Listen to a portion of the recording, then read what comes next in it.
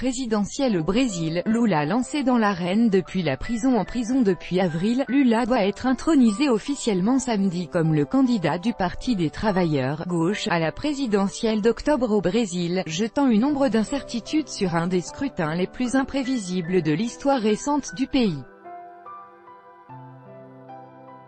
La journée promet d'être un super samedi électoral, trois candidats de poids devant être nommés officiellement par leur parti, un jour avant la date limite des conventions, sorte de grands meetings qui permettent aux formations d'adouber leurs champions devant les militants.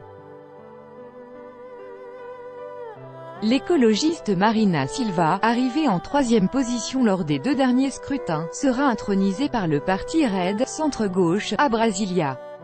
Toujours dans la capitale, l'ex-gouverneur de Sao Paulo Geraldo Alckmin, principal représentant de l'establishment, sera déclaré officiellement candidat du Parti social-démocrate brésilien, PSDB, centre droit.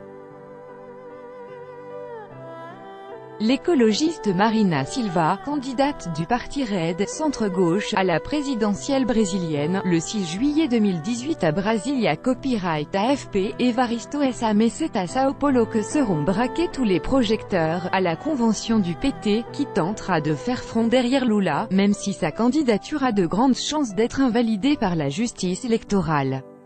L'ex-ouvrier a beau purger une peine de 12 ans et un mois de prison pour corruption, il demeure largement en tête des intentions de vote au premier tour, crédité de plus de 30% par tous les instituts de sondage.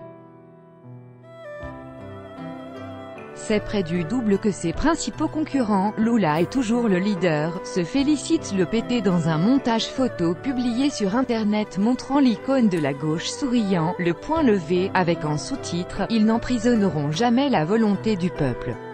Passage de flambeau, même si le parti se défend catégoriquement, du moins ouvertement, de préparer un plan B, en coulisses, personne n'ignore que la candidature de Lula sera vraisemblablement invalidée par la justice électorale.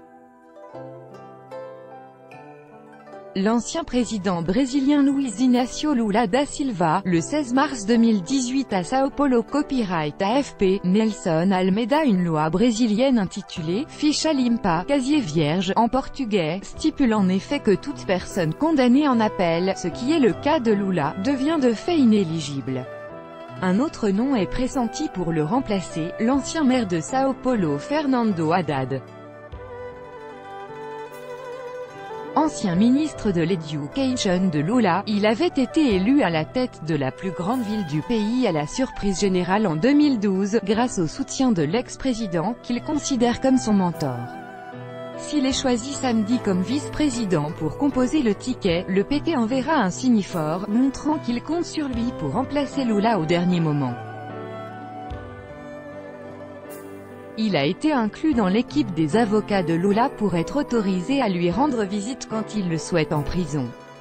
Mais certains analystes pensent que le parti pourrait choisir une personnalité moins emblématique pour brouiller les pistes et réaffirmer qu'il n'y a pas de plan B.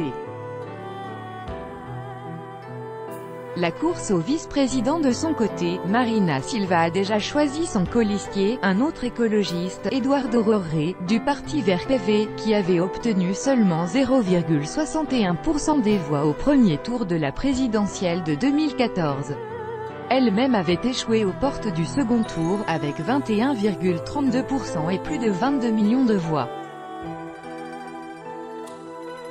Geraldo Alckmin, candidat du Parti social-démocrate brésilien, PSDB, centre droit, à la présidentielle brésilienne, le 18 juillet 2018 à Brasilia Copyright AFP, Evaristo S. à Geraldo Alckmin, lui a choisi comme vice-présidente la sénatrice Ana Amelia Lemos, censée lui permettre d'attirer un électorat plus conservateur qui penche actuellement pour Jair Bolsonaro, sulfureux député d'extrême droite. Bolsonaro, nostalgique de la dictature militaire, est le favori du premier tour dans un scénario sans Lula, même si les sondeurs ne le voient pas l'emporter au second. Cet ancien capitaine de l'armée brésilienne connu pour ses dérapages racistes ou homophobes a déjà été intronisé par le Parti social-libéral, PSL, il y a deux semaines, mais il éprouve toutes les peines du monde à trouver un colistier. Après avoir essuyé plusieurs refus, y compris celui d'un général qui a commandé les troupes de la mission de l'ONU en Haïti, il pourrait se rabattre sur un astronaute ou un prince de la famille impériale qui a régné sur le Brésil au XIXe siècle. droit de reproduction et de représentation réservé, copyright 2018, Agence France Presse.